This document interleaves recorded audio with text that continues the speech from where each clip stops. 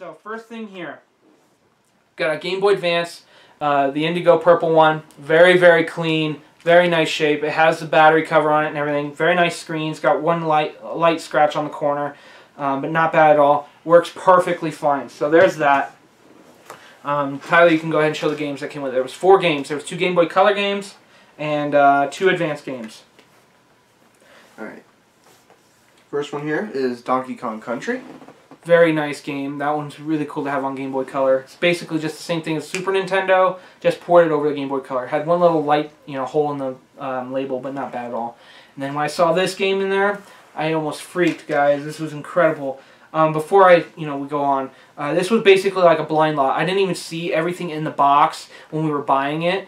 Um, I just saw what was on top, really, and um, that kind of sold me already. So I didn't even get to see it all until we got home and you know went through it all. But anyways, this was at the bottom of the box when we got home and we saw it.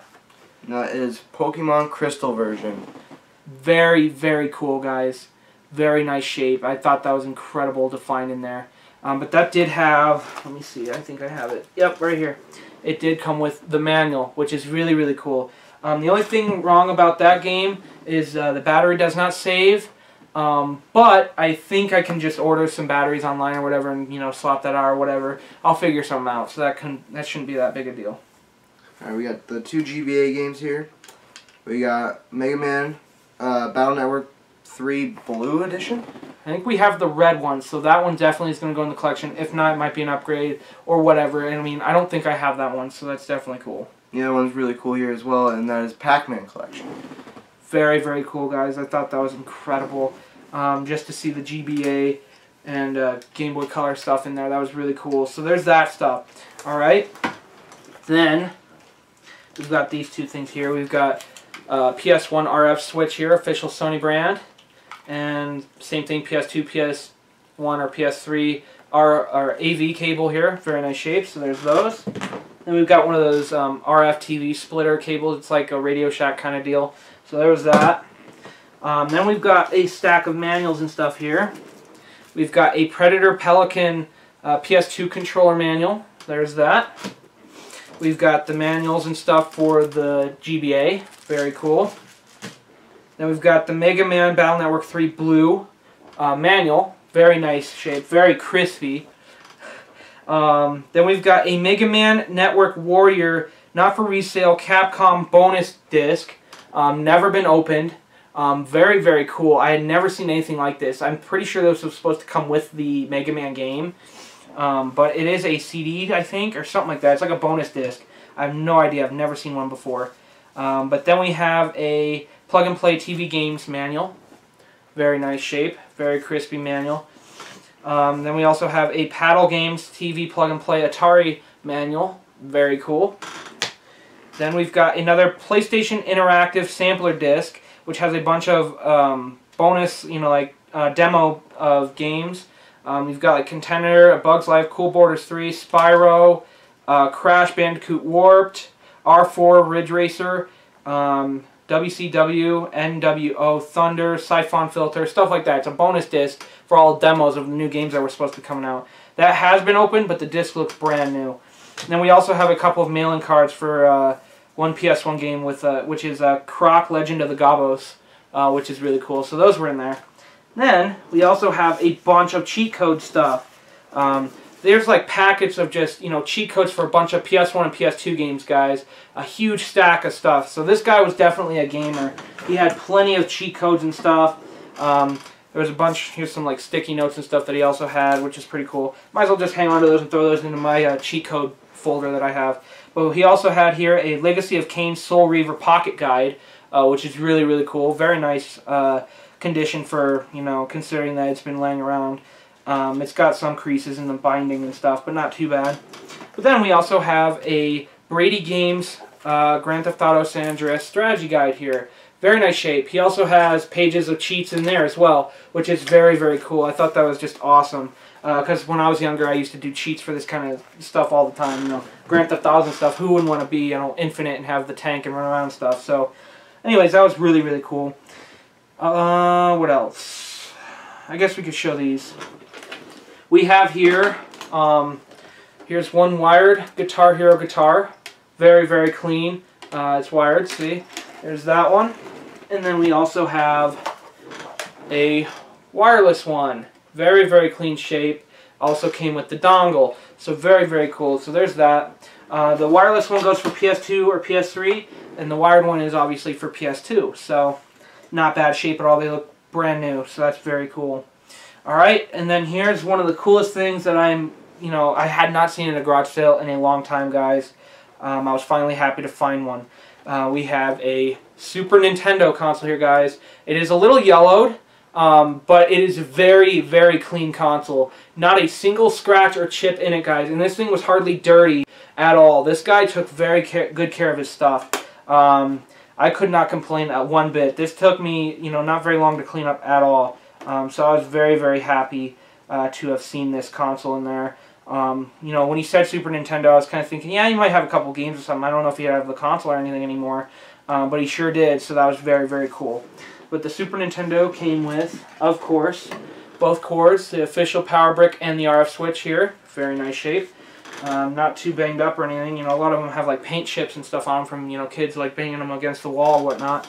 But then it also came with um, two official Nintendo brand controllers. Very, very clean condition controllers. Hardly used is what it looks like. I mean, they're very nice shape. So um, I'm kind of assuming, I'm not sure, but I'm kind of assuming this is his original Super Nintendo. It just looks that way. Um, just how well kept it is. I mean, I mean, if this was like a used one, it probably would have been really banged up or something, just from transport from one house to the next, something like that. You know, you know, stuff like that happens. But, anyways, he had three games for it, um, and they're all good, which is really, really cool. Uh, first one here is Donkey Kong Country. Very, very clean. I'm gonna hang on to this um, just because one day I might find the uh, Donkey Kong Country boxed set, and if I do, the chances are it might not have a cartridge in it. Um, so I'm definitely going to be hanging on to this cartridge just in case. Um, so that's very, very cool. Alright, the next one here is we've got NBA Jam. Very, very clean. Um, that one is probably, it might be an upgrade. I'm not positive. I'll have to check. Uh, but it has a very nice looking label, so that was very cool. I remember playing that one a lot as a kid. Same thing with Donkey Kong Country. Those were great games. Um, the last one here, it's a little sun faded, but not too bad. It's definitely the worst looking one of the three um, but it still works fine, and that is Super Mario World. Uh, very, very cool. Um, for those to be in there, they were all good games for, you know, what, what he had. They were all good, so that was very, very cool. Awesome finds there. Alright, next we have a PS1 console here, and it has an aftermarket, um, what brand is that? Mad Catz, aftermarket Mad Catz memory card in there. Um, very, very clean PS1.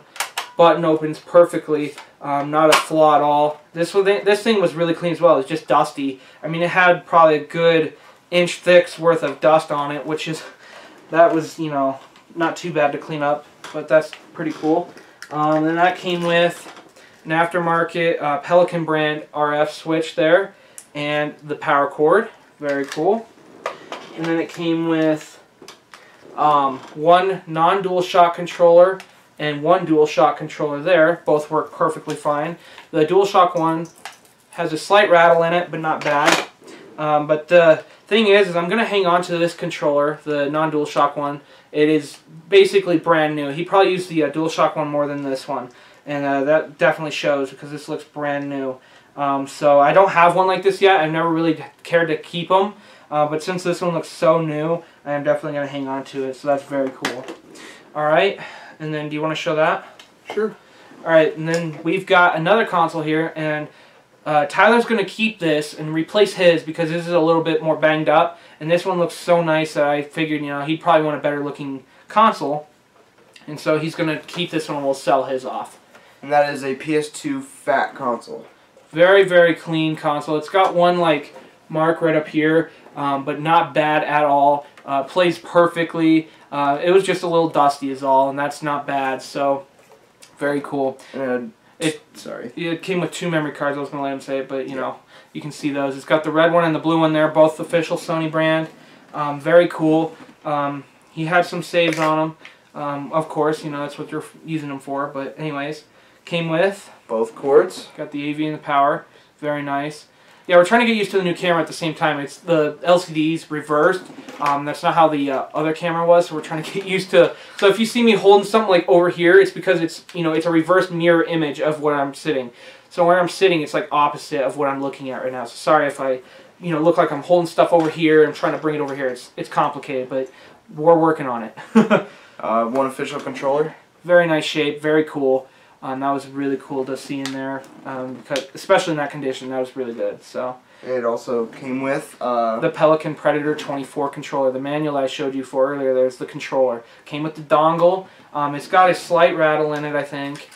Yeah, it's got a slight rattle in it, but it's not too bad. Did you say it's like a $12 controller or so? Yeah, 12 13 I think. It's not too bad. Um, it's pretty cool. It's a wireless controller that I didn't have, so I'm going to hang on to it. It's pretty cool looking, so it's not bad.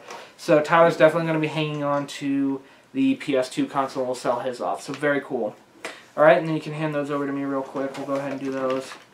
Alright, and then I also showed you these manuals just a little bit ago, and these will accommodate those. First one here is we've got the Paddle Games Atari um, plug and play game here. Very nice shape. I think this one's almost brand new. If not, it is brand new. Still got the twisty tie on the cord, uh, which is definitely really cool. So I don't have one like that yet, so I'll definitely hang on to that. Um, next one here is we have the Frogger plug and play. Very nice shape. I'm um, not sure if it's in better condition than mine, but um, very clean. Uh, works very nicely as well, so that's cool. And then this one is the Namco TV Games plug and play. Um, very, very cool. Very clean as well. Again, worked great. Um, again, I don't know if it's um, better than mine or not. I'll have to take a look. But it is very clean, so that's very cool. So those were in there as well. And by the way, those were the things that he bring out first. So I thought at first that was all the stuff they were going to have until he mentioned he had other stuff like the Super Nintendo and the PS1 and stuff. Um, so very, very cool. All right. Now, last console that we have to show you guys, and then we'll show you all the games that came with all the stuff. I know I showed the Super Nintendo games, but there were there was only three of them, so that's why I showed them. Um, and same with the Game Boy games. But anyways, we have here a complete in box black Nintendo Wii, guys. Very very cool. Um, I already have one like this, but this one will definitely probably upgrade mine, uh, just because mine's kind of banged up. The box is a little rough. Uh, console has scratches and stuff in it. It was it was from my friend Everett that I purchased from for like four years ago, I think. Um, but I think it's about time for that one to go and uh, for this one to move in. So box is in very nice shape. This is the empty box. I did uh, leave it open so I can show you guys, you know, somewhat how good condition it looks. Um, but it has all the baggies and all the twisty ties and stuff. There's the first tray. It has the nunchuck in there and uh, the, uh, what is that? The AV and the sensor bar and stuff. Very nice shape. The nunchuck's never been used. Um, this was the mother's console, mainly. Um, so she said she only played it like three times, maybe. Um, and her dad, which is you know probably in his, I'd say late 70s, played it a couple times too, which I thought was pretty cool. Uh, there's a couple games in here that were uh, strictly his that looked like they were probably never even played.